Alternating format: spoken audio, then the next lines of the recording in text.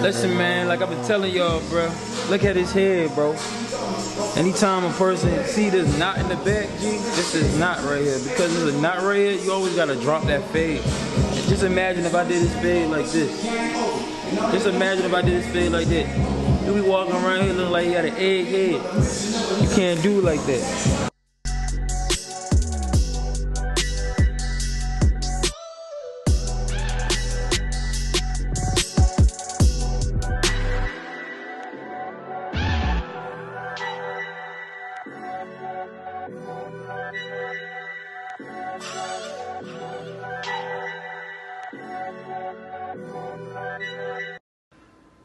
Haircut is dope, and y'all should come here to get y'all dope.